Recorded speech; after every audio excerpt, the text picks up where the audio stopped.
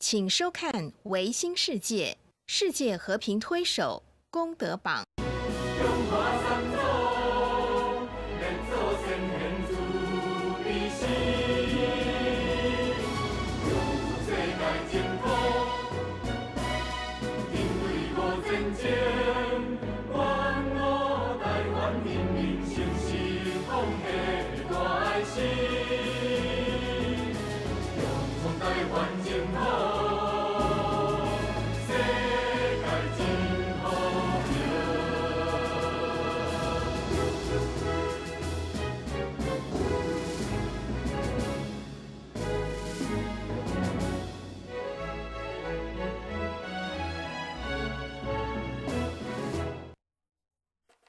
每个人房间呢，家里的房间呢是老是找呢，老是少一间啊。那发表论文的人老是找，觉得是少一点时间啊。各位可以看到，这么这么花功夫呢，去把老祖宗的东西呢能够去整理出来，但是呢没有时间呢能够好好的去把它做一个比较更长时间、更深入的去。我看好在啊，我们张院长已经都呃都都都都都接受我们。呃的呃这些活动了啊，那么呃我们以后呢，呃恐怕还有很多机会呢可以来安排啊，让他呢能够再多发。我想好难得啊，一个学术界的朋友啊，他在呃行个行政领域上呢能够这么的研究，而现在又能够把老祖宗的东西又能够转化过来，那我想我们今天不应该自己觉得说，哎，我们研究这个东西没什么意思，没什么意义。我们应该更加努力。我们下一位呢？因为刚刚提到，所有鬼谷子的东西，到后头可能归结在也许沟通、说服、谈判方面是非常重要。以及在现代社会当中，你涉及到两岸的谈，两岸而且涉及到这些呃人际之间，都是在沟通，都是在走一个交流。我们现在请方鹏程方呃呃总编辑，好吧，请。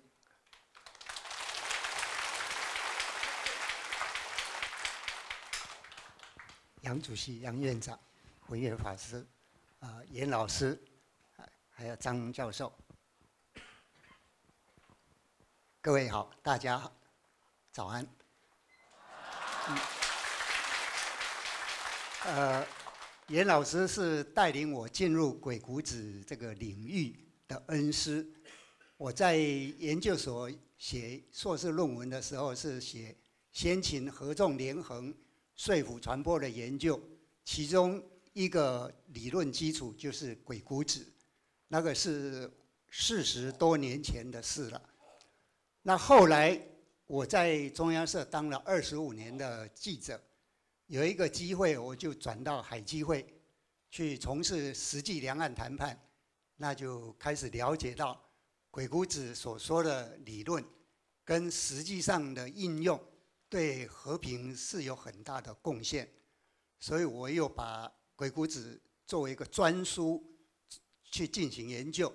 后来又研究到孙子，因为两两岸常常有一些文攻武赫的事情，所以我就研究《孙子兵法》是不是只能用在打仗呢？还是也可以用在说服方面？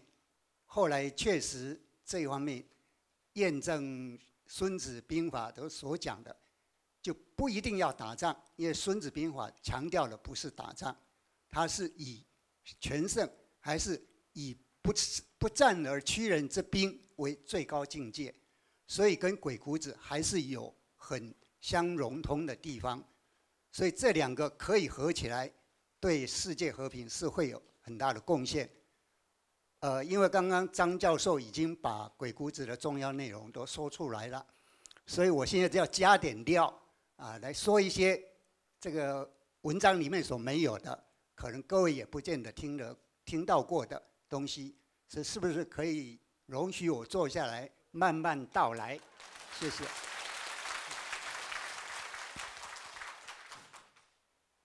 呃，鬼谷子的理论可以把它做。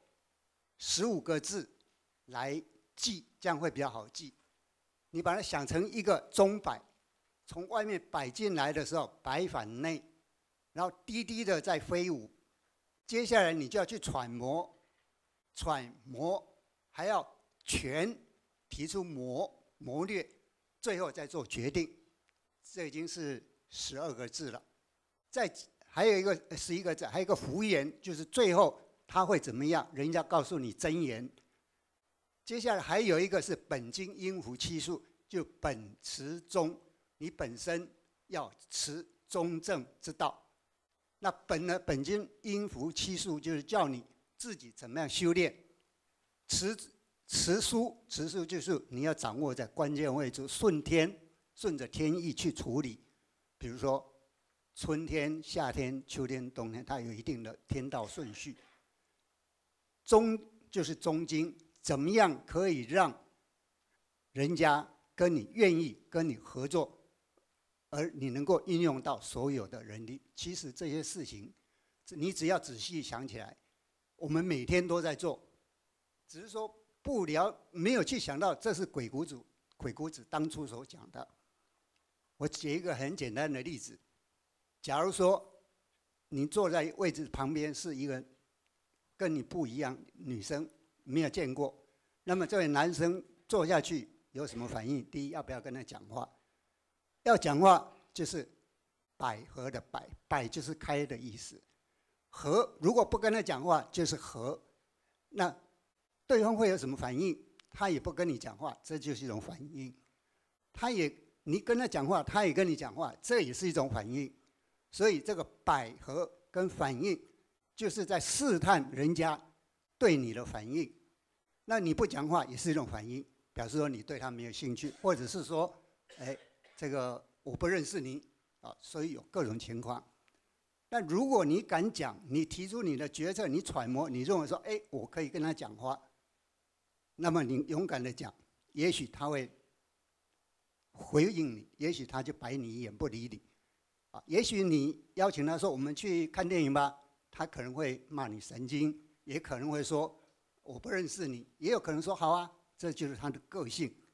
那么从这里面就讲说，日常生活我们都在用，只是没有去感觉到而已。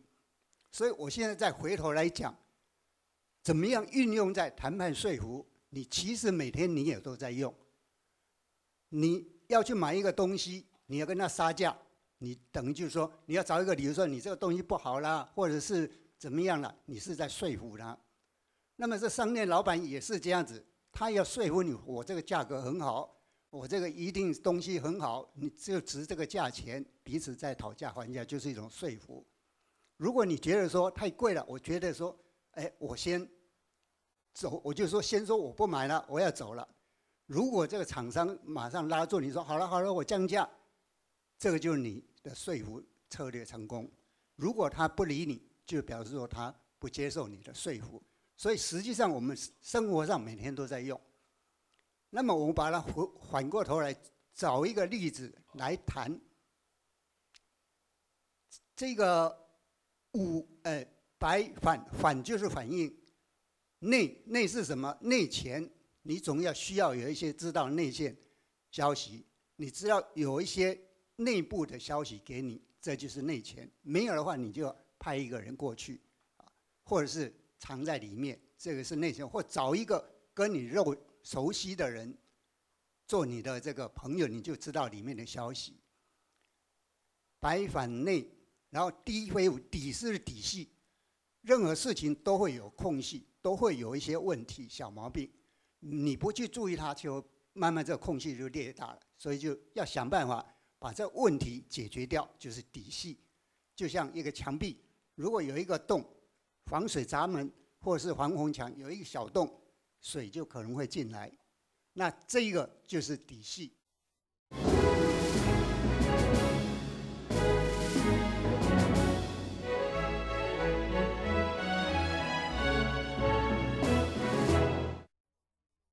那么底细之后还有一个是五。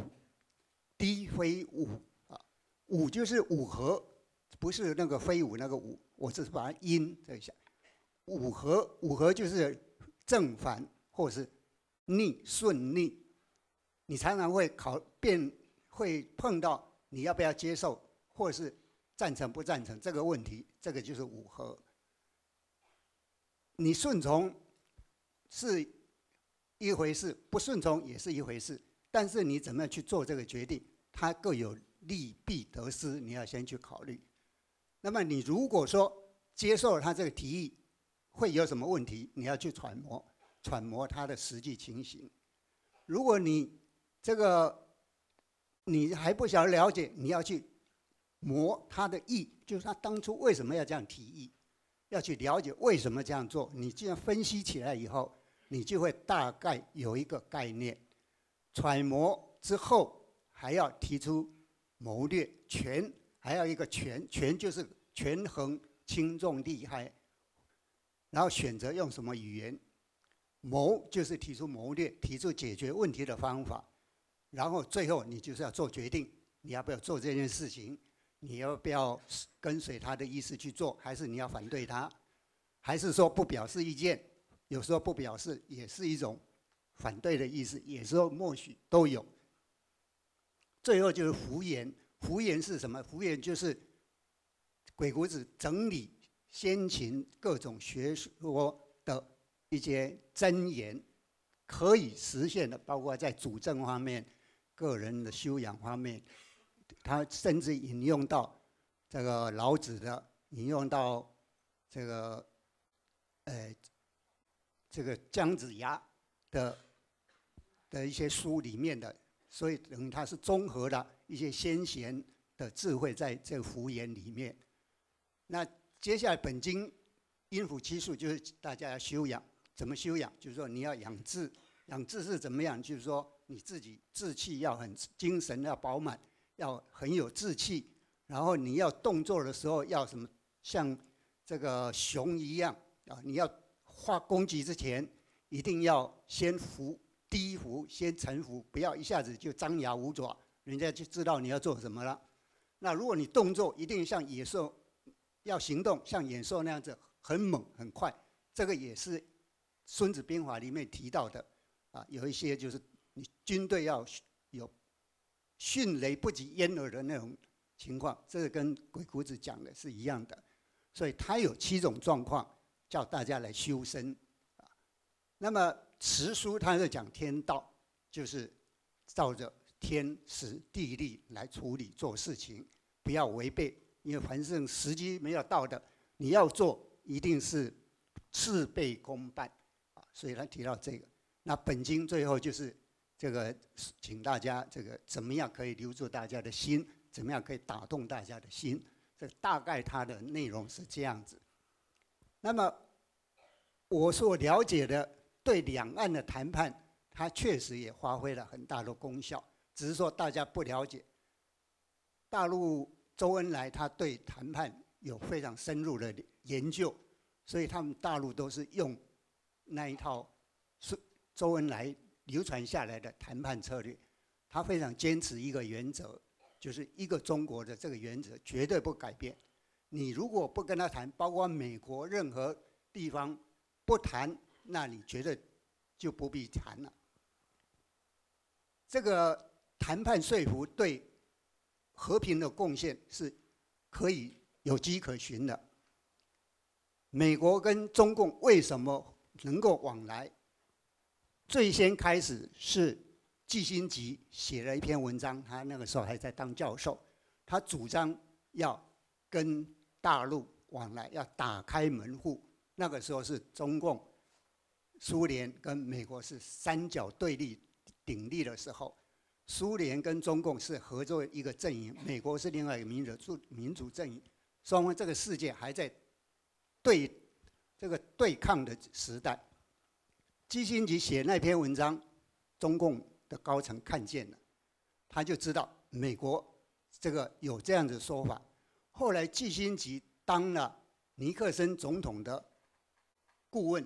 白宫顾问又接下来当国务院的的那个国务卿，他们就透过一些关系，透过其他国家的大使传讯息给季新吉，说大陆愿意跟你往来，所以才会安排季季新吉的肚子痛跑到大陆去。打开了大陆正门，接下来就是整个情势转变。既然中共跟美国往来，那么这里面就会产生质变的问题，那么苏联就变成孤立，所以变成这种整个用谈判说服的方式打开了中共的大门。那么这个转变就影响到两岸的这种情势，所以到一九七零年代。大陆就发表邓小平的这个两岸这个要和谈了，或是可以互相往来了，还有什么一六条了什么之类的，通通来了。那么在民国七十呃八十年代开始的时候，我们的高层其实有派人去跟大陆的一些高层在香港在很多地方私底下会谈。那个时候就叫做密谈，那这这几次的谈判就奠定了两岸以后互相往来的基础。他们就是决定要设立一个海基会，一个海协会，然后表台面上的就让海基海协会来谈，后面的政策的就是由高层去主导，这个就开始两岸谈判。当然，这里面就是运用的很多可以符合鬼谷子理论的地方。比如说，他用发表谈话的方式，就是在传递信息，告诉你说我要怎么怎么样。那事实上是不是这样子？还是有讨论空间？所以我们这里就要赶快分析，究竟他这里面话有什么意思？要一点一点的来讨论，来分析他的状况。这个就是在权跟谋揣摩的技功夫。事实上，两岸开始往来，就是在开始海基会组团到大陆去，然后接下来就是他们谈好，应该要有第一次的孤汪会谈，这个是高层做的决定。但是最第一任的海基会秘书长。因为刚刚开始，两岸才刚，大家互不信任，我们也不信任他们究竟会去谈什么，就怕他们是不是会去签一些不利于我们的条约，所以第一任的海基会秘书长非常难做，他没有多久，第一任、第二任通通下台，很快就下来，第三任是邱敬义，从总统府的副秘书长连降九级去当海基会的一个秘书长。但是，邱敬义有一个心，他当过德国大使，他一带回来一颗德国的这个城，德国的围城城城墙的一块石头，他说要打开两岸的心结。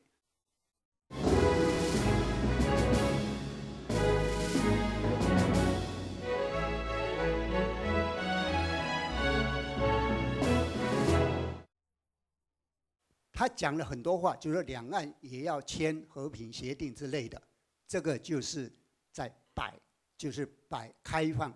我讲一些，看看你对方反应怎么样。那么大陆也会有回应，有时候他就不回应，不回应也是一种回应。他其实还在考虑怎么做。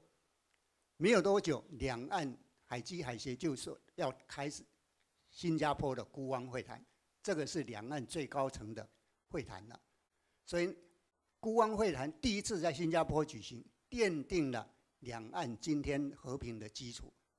可是没有多久，这个大概只有三五年，因为邱敬义那个时候要积极推动，但是高层认为说不要那么快，老百姓还没有接受，所以就速度要慢下来。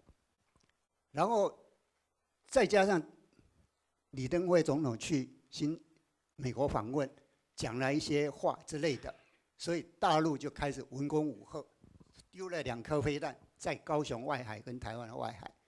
这个就是什么？他就是以武力的方式来告诉你，给你一个讯息，说你在走出界限、容许的界限之外，他就是要动了。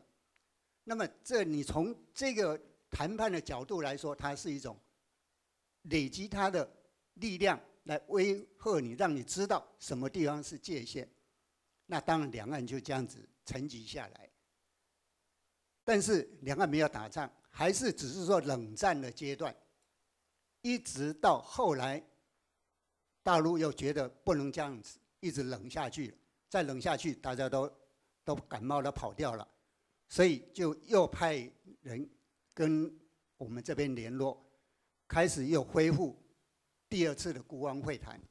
第二次孤汪会谈就是在北京举行，有跟江泽民去谈了一些事情。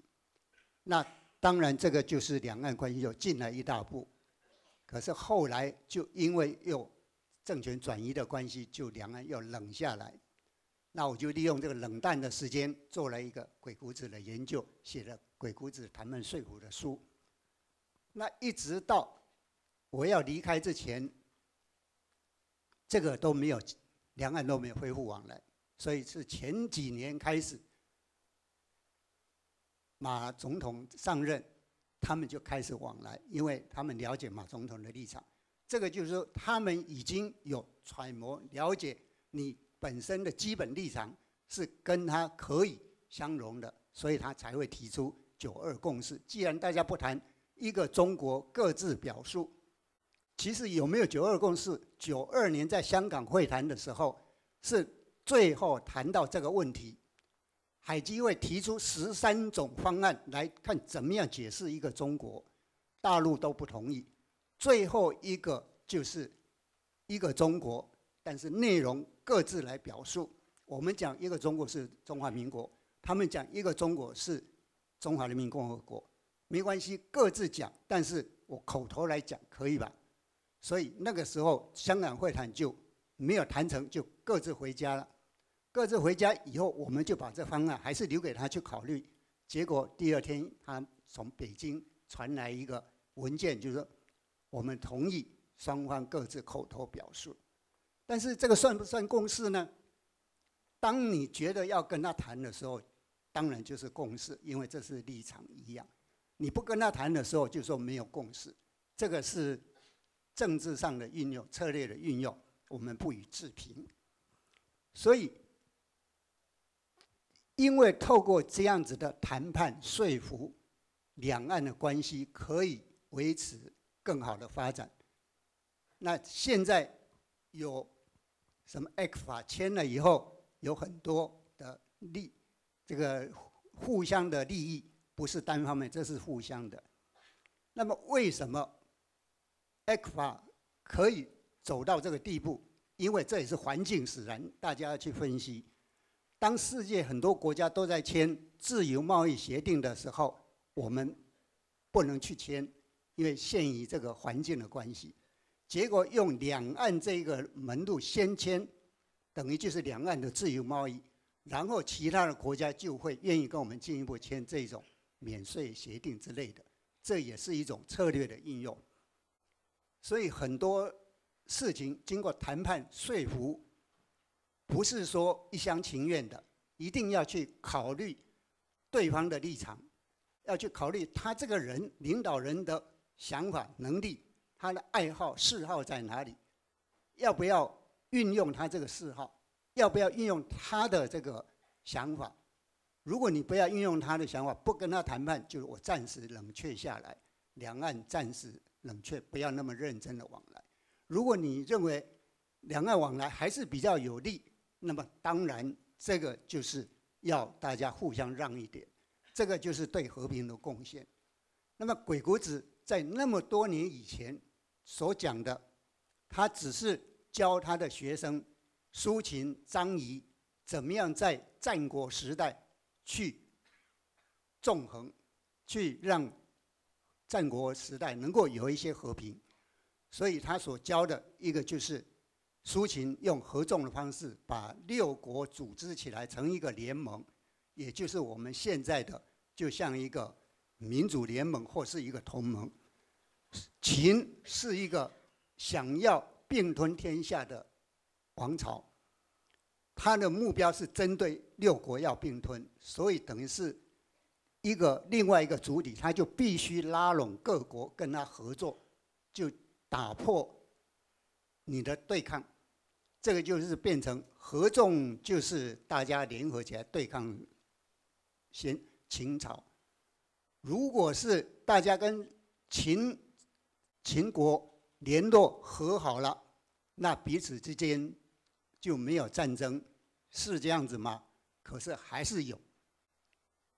秦后来虽然拉拢这个，就打另外一个，变成远交近攻，因为他的国策就是要并吞天下。但是能够使这个战国的局面多延长了很多年，就是因为后来合纵连横，又在春申君，楚国有个春申君四大公子，他又组织了好好几次的这个合纵。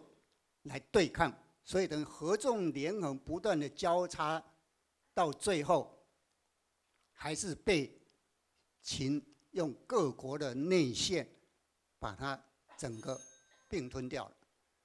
所以我今天讲的是鬼谷子文化在实际应用跟对世界和平的贡献方面，但《孙子兵法》所讲的。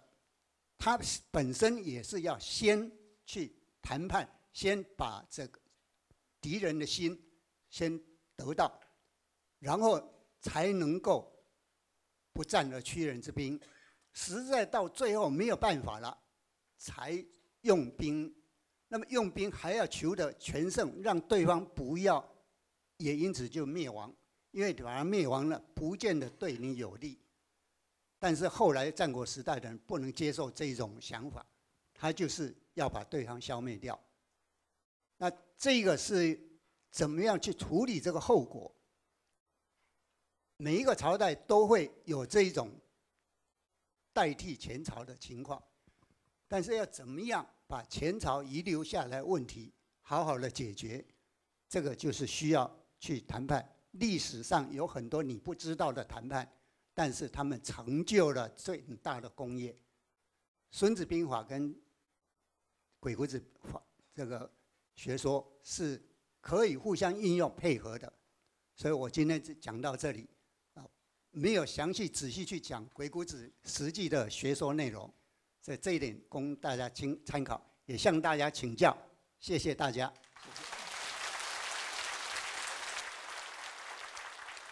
啊谢谢方总编辑啊！我想各位在文章上呢都可以啊参阅啊。那么因为时间关系，我们现在请呃徐杰倩师姐，你就帮忙黄立忠教授呃这个呃呃我我看他呢是已经在用视用视讯在听你这怎么帮他做哈，你就请啊，谢谢。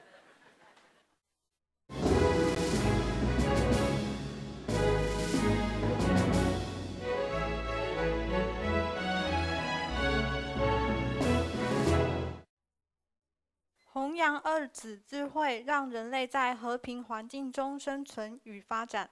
大山深处的思考。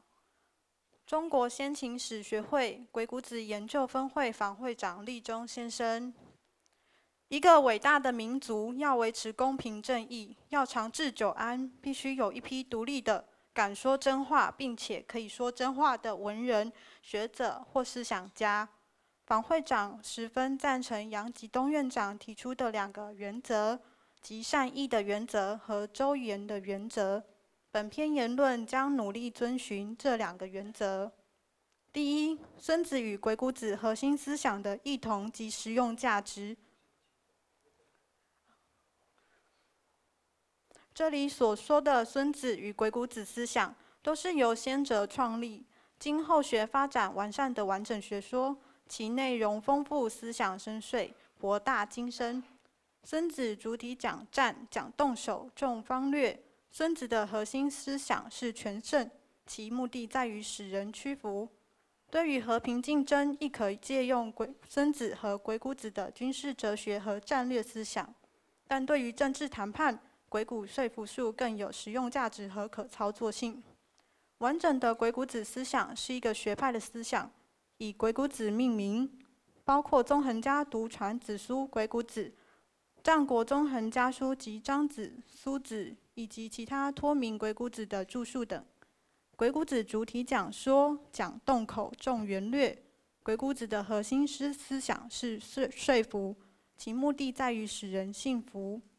鬼谷子及纵横家的学说不但在中国历史的分合中起过重大作用，也得到了当今国际上一些著著名思想家的高度关注。上个世纪初，一位叫金钟士的韩国学者，把《鬼谷子》一书译成了德文，在欧洲出版。其后，德国社会学家斯宾格勒高度评价鬼谷子的智慧。上个世纪末，又有英国的历史哲学家汤恩比和日本社会学家池田大作预言，在纵横思想家影响影响下形成的政治文化统一的本领，将在未来不可避免的统一过程中发挥主导作用。那么，孙子与鬼谷子的使用价值是什么呢？在古代，对于战争指导，可借用孙子和鬼谷子的军事哲学和战略思想；对于作战指挥，则孙子的战法更有实用价值和可操作性。孙子的十阵、八阵、火攻、用间都实用，正如《孙子兵法·军争篇》强调的“故兵以诈立”。对于和平竞争，亦可借用孙子和鬼谷子的军事哲学和战略思想。但对于政治谈判，则鬼谷说服术更有实用价值；对于沟通谈判，十阵八阵都不实用，火攻用间就更不能用。兵可以诈立，言就不可以诈立。战阵之间不厌诈而不厌诈伪而反理君子，就应该不厌忠信。二子的思想相合相通，但和而不同，异曲同工。让对手屈服，当用宝剑。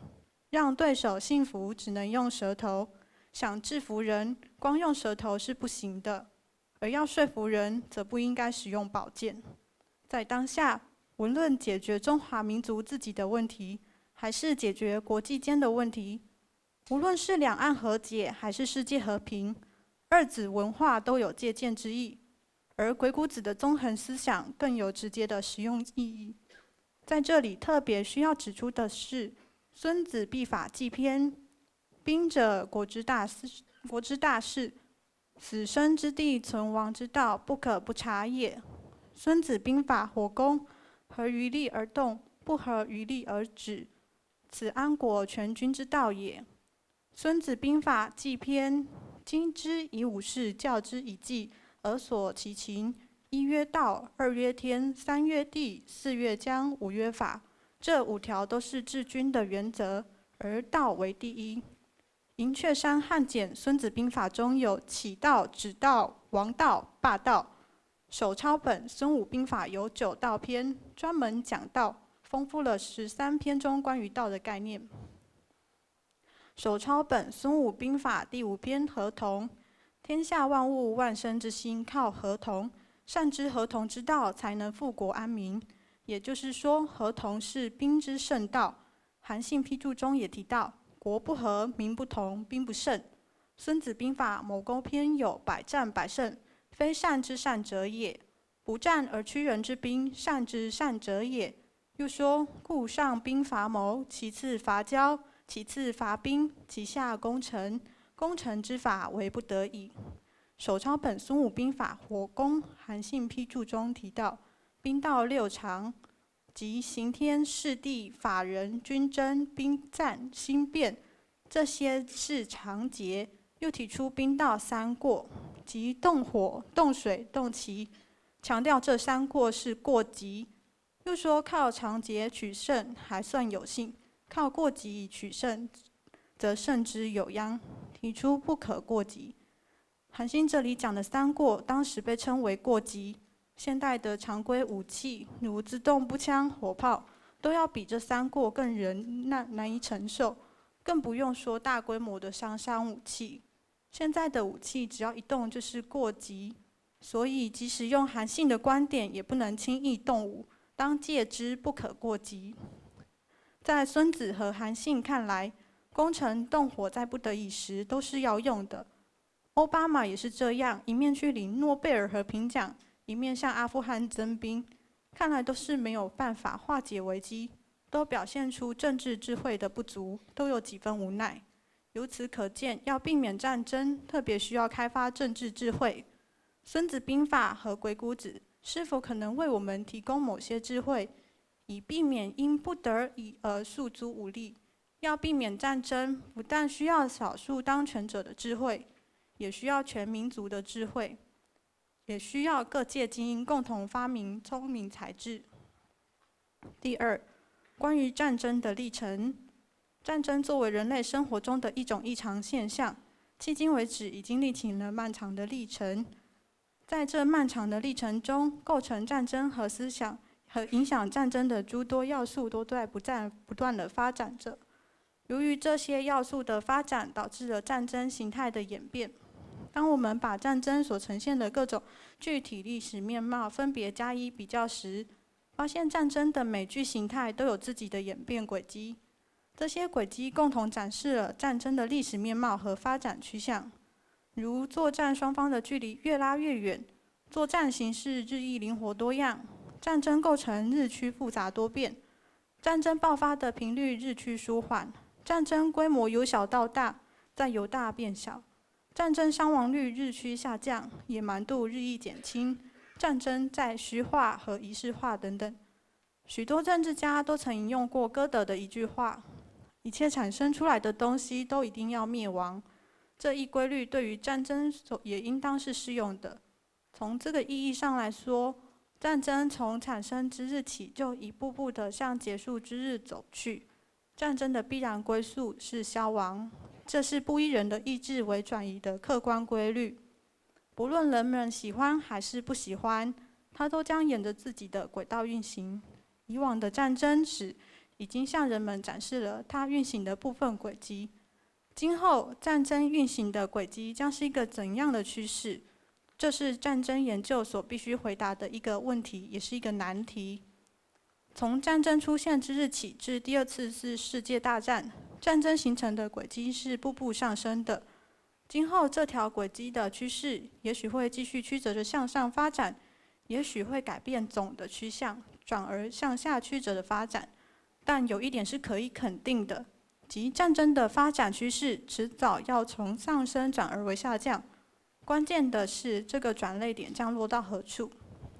第二次世界大战结束至今已经六十多年了，这六十多年是人类社会突飞猛进的时期，科学技术得到飞速发展，因此带来了武器、人类交通工具的代代更新。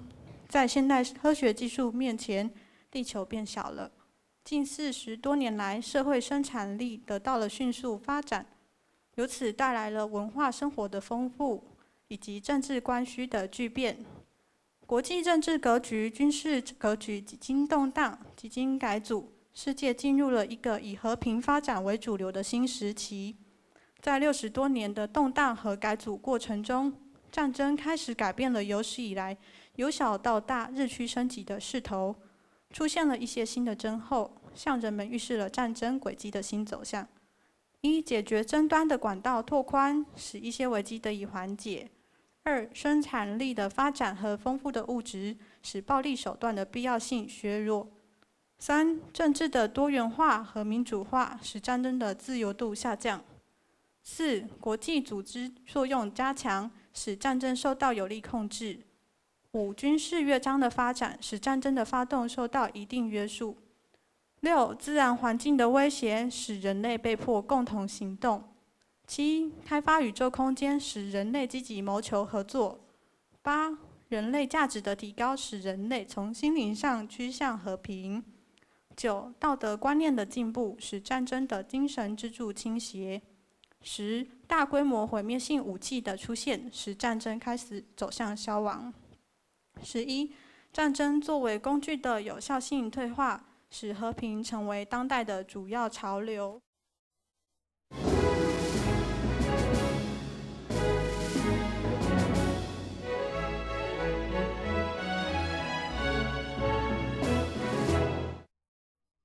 第三，关于和平的历程。以往人们在考察战争的发展规律时，往往偏重于考察构成战争的因素，而忽略了对约束战争的因素考察，特别是很少对于和平问题进行考察。其实，战争与和平既是截然相对的，又决然是无法分离的两种范畴与状态。两者有时彼此消长，有时镜向发展。战争的历程总以和平的历程相伴随，相反相成。为此，我们要想研究战争的发展规律，不可不考察和平的历程。有史以来，和平一直是人类群众最美好的愿望。在远古的神话传说中，和平就是一个常见、常新的主题。在文献资料中，和平也是一个重大的主题。特别是在民间作品中，和平的呼声更为强烈。孟姜女哭倒长城的故事，就是广大人民的反战宣言。它反映了世世代代人民群众的共同心声，引起了古今中外各阶层人民的共鸣。历代进步思想家都把和平作为自己的政治主张之一。历代进步的文学家、美术家都把和平作为热情讴歌的主题。广大人民群众一直保持着美好的愿望，期望和平，期盼平安。为此，人民以各种惯例法规约束战争，以宣传舆论和反战运动抵制战争，以各种反战学说来说服人们避免战争。有人说，人类的历史就是一部战争史，但人类的历史也是一部和平史。在战争发展的同时，和平也在不断发展。战争活动达到一个新的水准之后，和平活动也总是随即的相应到达水准。时至今日，人类进行战争的能力已达到人类自身无法承受的水准，但事实上所发生的战争却一直保持在人类所能承受的范围内，而这种平衡今后也不能被打破。造成这样一种平衡的原因是多方面的和多层次的。但最主要、最直接的因素就是和平因素对战争因素的制约。第四，如何借鉴《孙子兵法》鬼谷子思想来化解危机、维护世界和平？当今我们所面临的几大矛盾与分歧，潜伏着诸多危机。人们应当在沟通中消除这些分歧，化解危机，进而维护世界和平。二战以前，战争是解决争端的最好办法。它简单直接，但战争是以血和肉做实验，以生和死做结论的。为此，自古知兵非好战。历史上真正懂得军事的人，从不轻言战争。战争从来都是不得已的事。战略家们主张不战而屈人之兵，纵横家们主张转弯飞前，纵横捭阖。也出了无数威武雄壮的火炬。近代又有萧振营凭三寸不烂之舌与土肥圆周旋，但他们必定不是解决当时争端的主要角色。在当时，一切争端都由战争来做了断。当今世界许多新因素的出现，使战争作为工具的有效性受到制约。广播电视、电讯、交通技术的发展。人们之间的交流导管道拓宽，使危机得以缓解；生产力提高，物质丰富，贸易活跃，使暴力掠夺财富的必要性被削弱。联合国等国际组织的积极活动，使战争受到一定的控制。军事约章的补充增加，使战争的行为受到了相应的制约。自然灾害和生态环境的威胁，使人类暂得暂时搁置分歧谋划。共同行动，使人类被迫积极寻求合作。人的生命价值日趋受到尊重，使人类从心灵上趋向和平。战争已不再是解决争端的最有效工具，而战争与战争相对的交流、谈判、贸易等非暴力手段，则比以往任何时候都更加实用有效，甚至可以达到双赢或多赢的效果。在这样一个时代，我们更需要扬弃哗众取宠的纸上谈兵和拔剑而起的匹夫之勇。我们更需要借用孙子不战为上的哲学，借助鬼谷子纵横捭阖之术，运用一切非战争、非暴力的手段，去研究和解决各种冲突和一切争端。民众之间、政府之间、政党之间、国家之间的关系。都可以用交流沟通的办法去消除误解、化解危机、建立互信，用和平的方法、非暴力的手段建构一个和谐的社会，已经成为可能。最后谈谈我们中华儿女的历史责任。过去，中华民族的祖先在这个地球上创造了灿烂的古代文明。有人说《孙子兵法》是预测学经典，有人说《鬼谷子》是测预测学的开山。历史学家的预言不过是个人推测。作为中华民族的一员，应该感到荣耀，但真正属于我们的是一份历史的责任。我们应当理智地承担起属于我们的那份历史责任。中华民族应当有能力承担起这份历史责任。中华民族有追求统一的传统，有追求和平的愿望，有强大的文化消化能力，有顽强的民族生存能力。中华民族人口众多，地域辽阔。中华民族的统一就是四分之一世界的统一，中华民族的和平就是四分之一世界的和平。中华民族有责任、有能力为世界和平做出贡献。二子论坛完全是民间声音，天下兴亡，匹夫有责。民众及民间组织有责任、有权利发出强有力的声音，要求和平，要求发展，要求交流，反对制造隔阂，反对激化矛盾，反对暴力挑衅，反对分裂宣传。反对战战争叫嚣，要求我们的当权者和决策人为两岸同胞的交往创造便捷的条件，要求我们的当权者和决策人不得违背两岸同胞的意愿，不得损害两岸同胞的利益。在全世界爱好和平的人们共同努力下，未来一定是一个美好的世界。到那时，世界和平的公民们。将对我们惊人的功过是非做出公正的评价。一切政治家、军事家、科学家、实业家及每个公民，在对战争与和平做出选择时，都应当对前人留下的文明负责，都应当对后人的生存和发展负责，都应当对自己的千秋明泽负责。